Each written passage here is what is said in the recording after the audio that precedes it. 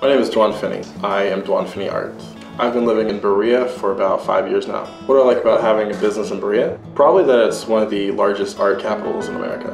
Uh, Berea is a wonderful city. It's got a nice quiet atmosphere to it and I'm pretty introverted so I don't like really big cities. And then again, just the art scene is really amazing. The Arts Accelerator program has been a good opportunity for me, mostly because I have a studio space now. I was working out of my apartment with just me and my girlfriend, my roommate, and my two cats, and that's not going to work out with paints. I've been painting since 2013, uh, January, so that's four and a half years.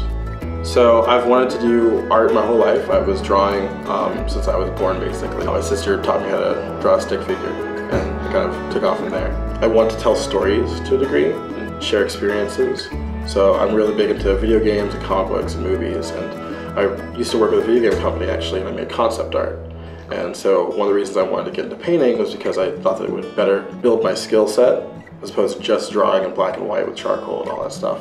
I could incorporate color and edges and paint and everything like that. Well, I've always had an interest in people I was very shy growing up and I kind of used my art as a way to look at people and figure out how they operate and kind of get more of a sense of who they were before I even approached them. So I just have like a baseline. Currently what I'm trying to do is celebrate the human form and celebrate all these people, these wonderful people that I know. Most of my models are my friends for that reason, or at least people that I've got to know. Growing up I did a lot of like anime drawings.